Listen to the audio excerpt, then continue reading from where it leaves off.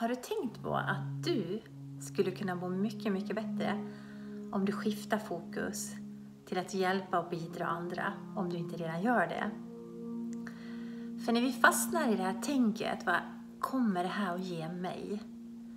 Vad ger den här relationen mig? Vad ger det här arbetet mig? Allt som händer i ens liv, om man bara fokuserar på vad ska jag få? Vad är behållningen för mig? Vad är lönen för mig? Hela tiden fokusera på sina egna fördelar utifrån det som sker, så blir man väldigt självupptagen. Och när man blir självupptagen och i sin egen bubbla så blir det lätt att tankarna blir deppiga. Man blir låg i tanken, negativ, man kanske blir avundsjuk och dömande och man liksom tittar på mitt och ditt och liksom det, det blir liksom ingen god feeling, du vet.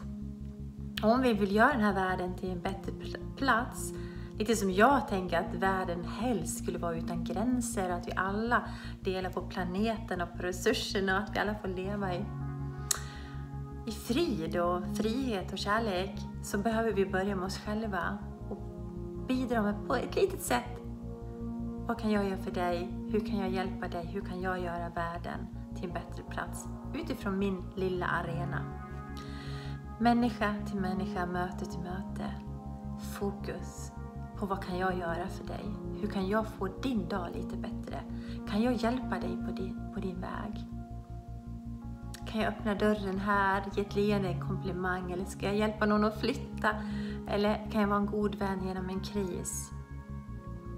Det kan vara okända människor och kända människor. Men när vi skiftar vårt fokus från att vara självupptagna till att istället för att titta ut, vilka kommer jag möta idag och på vilket vis kan jag hjälpa de människorna? Att göra den här dagen lite bättre för dem. Så händer någonting. Och jag är väldigt bekant i tolvstegsprogrammet eftersom jag är anhörig och medberoende. Och det tolfte steget där tycker jag är magiskt. Det är att ge tillbaka. Så det jag har fått ger jag tillbaka, eller det jag vill ha ger jag tillbaka. Det betyder att om jag själv vill fortsätta att läka så behöver jag hjälpa andra att läka. Om jag själv vill ha fler vänner och större gemenskap så behöver jag själv bli en bättre vän och sprida eller stärka eller bidra till gemenskapen. Det jag själv vill ha behöver jag ge och ge och ge.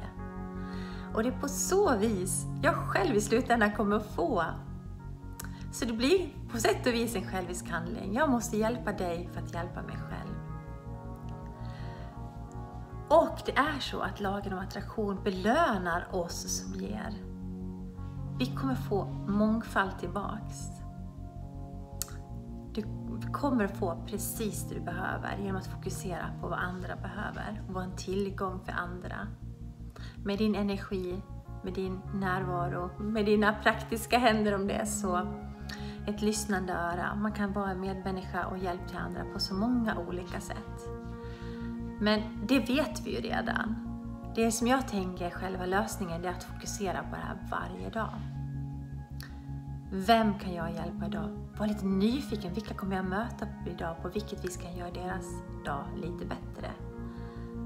Och jag lovar dig att du och jag när vi gör det, vi kommer somna bättre på natten. Vi kommer somna med en känsla av att ha bidragit, en lite godare känsla i magen. Och jag tror på sikt, om man fokuserar på det här över tid, så kommer det ge mening. Mening till livet. För jag är en sån djup människa, har alltid varit sedan jag var liten, att liksom tänkt bortom den här världen. Vad är det på andra sidan? Vad är vi egentligen här för att göra? De stora livsfrågorna har alltid intresserat mig och varit också mitt, mitt ok på axlarna för att de har tyngt mig också. De här stora, stora frågorna. Vad är meningen med livet? Och jag tror att det här kommer ge oss som är som mig och er andra hopp och skapa mening. Att vi kanske är här för ett högre syfte. Att bidra och göra världen bättre. Det behöver inte vara stort, det kan vara människa till människa, möte till möte.